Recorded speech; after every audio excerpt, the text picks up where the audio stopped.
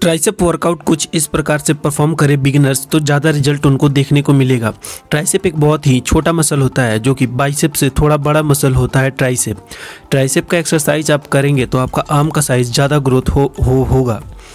एक हैंड से जैसे ही आपका ट्राइसेप एक्सटेंशन खत्म हो सेकेंड हैंड से स्टार्ट कर देंगे तुरंत बिना रुके हुए। इस एक्सरसाइज को आप करें तीन सेट में नंबर ऑफ़ रेपिटेशन आप करें टेन टू ट्वेल्व चलिए बढ़ते हैं सेकंड एक्सरसाइज की तरफ़। ध्यान रखें कि ये बिगनर्स को बहुत ही फ़ायदा देगा वर्कआउट में आपको आर्म्स को ग्रोथ करने के लिए बिगनर्स ज़्यादा इस एक्सरसाइज को अफोर्ड कर सकते हैं ताकि उनके फोर आर्म्स और ट्राई और बाई पूरे होल ओवर ऑल आर्म्स को ज़्यादा ग्रोथ मिलेगा इस वर्कआउट से। सेकेंड वर्कआउट कुछ इस प्रकार से आपको करना है। इस एक्सरसाइज को आपको करना है तीन सेट नंबर ऑफ़ रेपिटेशन आपका इसमें भी रहेगा 12 टू 15 चलिए बढ़ते हैं थर्ड एक्सरसाइज की तरफ़, जो कि बिगनर्स के लिए बहुत ही अच्छा होता है। इस एक्सरसाइज को आप परफॉर्म करें। इसके भी आपको सेट लगाने हैं तीन।